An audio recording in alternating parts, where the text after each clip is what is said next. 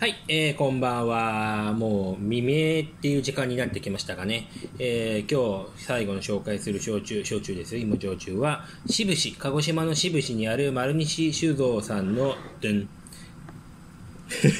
のんびりハスガエルというラベルです。今年買ったものなんですけど、まあ、ちょっとコロナ禍でなかなか焼酎を出す機会っていうのも減っちゃって、まあ、ようやくここまで減ってきたものです。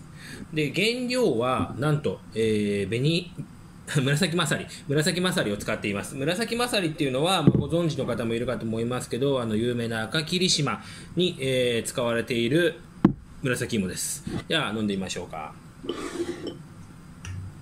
ね、あの赤切りに使ってる芋なんだっていうのをさ分かったらちょっとこの焼酎飲みたいなっていうふうに思っちゃいますよねじゃあいきますかうんあうん。まあもちろん、あのー、赤切りに関してはタンクで作ってるからタンクで作るとね紫の良さっていうのがすごく出てくる。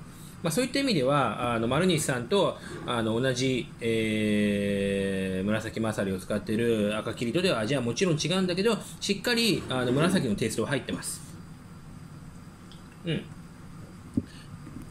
いいですねえっ、ー、とねちょっと調べたら書いてあったんだけどえー、井の中の蛙大会を知らずで二の句でされど天の高さを知るっていう言葉があるんですけども、えー、まあ、ここの蔵も、まあ、そういう言葉のように一つのことを極めていきたいなっていう思いが入っているようです。はい。それでは、えー、今日最後の配信終わります。はい。お疲れ様でした。ハス、ハスガエル。ハスガエルね。はい。